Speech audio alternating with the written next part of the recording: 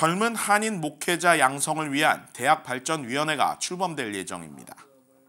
클레어몬트 신학대학원은 오늘 타운에서 기자회견을 열고 전현직 목회자들과 한인 지도자들을 중심으로 한 신학대학 발전위원회를 구성한다고 발표했습니다.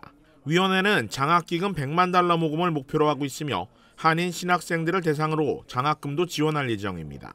우리가 걱정이 되는 것은 이제 특별히 미주 교회를 얘기를 하면은 젊은 목회자들의 숫자가 아주 급격히 감소되는 추세에 있어요. 그래서 젊은 목회자들이 없다는 얘기는 교회 미래가 어둡다는 얘기거든요. 그래서 그런 분들이 이제 좀 더 편안하게 공부할 수 있도록 지원하는 것이 저들의 목표고.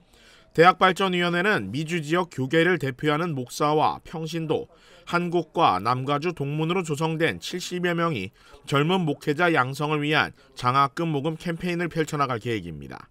클레어몬트 신학대학원 발전위원회 출범식은 오는 22일 열립니다.